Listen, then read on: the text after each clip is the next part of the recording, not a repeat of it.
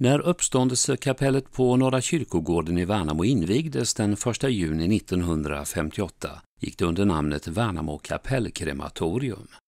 Och det var en ganska lång process innan kapellet kom att byggas. Redan hösten 1938 beslöt kyrkorådet att utreda frågan om att bygga ett nytt begravningskapell och krematorium på Norra kyrkogården.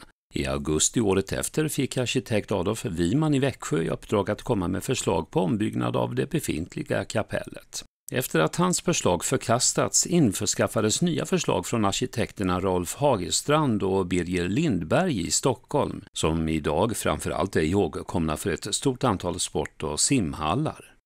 1944 var frågan tillbaka hos Adolf Wiman som då fick i uppdrag att rita ett helt nytt krematorium. Hans förslag antogs hösten 1945 men Kungliga byggnadsstyrelsen ville ha vissa bearbetningar men då var arkitekt Wiman inte längre i livet. Wimans plötsliga bortgång gjorde att projektet avstannade något år och 1948 gick sedan uppdraget att rita krematoriet till den då nytillträdde stadsarkitekten i Värnamo, Hugo Bolkner.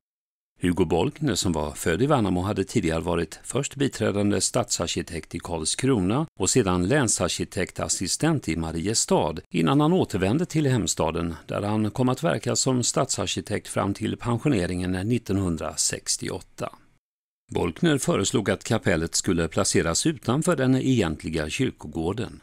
1954 godkände kyrkorådet förslaget och två år senare, 30 år efter att förslaget på ett nytt kapell framförts, kunde arbetena påbörjas. Den östra väggen i ceremonihallen domineras av en monumental målning skapad av den Ljungbyfödde och stundtals kontroversielle konstnären Sven Ljungberg. Han finns representerad inte bara i ett flertal kyrkor utan även bland annat på Nationalmuseum, Moderna Museet och Göteborgs konstmuseum samt på Pjuskimuseet i Moskva. Fresken här i uppståndelsekapellet skildrar människor i glädje och sorg på deras livsvandring.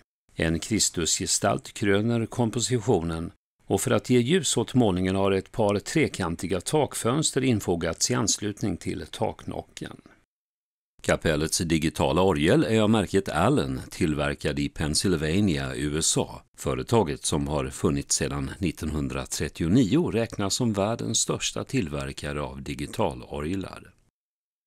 De koniska takarmaturerna kommer från Hans Agne Jakobsson i Markaryd. Kornmattan är skapad av Barbro Nilsson och kommer från Märta Mås Fjätterström AB. Altarsilvret är gjort av guldsmed Birger Haglund. Och i väntrummet finns möbler designade av Bruno Mattsson. När kapellets arkitekt Hugo Bolkner dog 1984 fick han sin sista viloplats helt nära kapellet.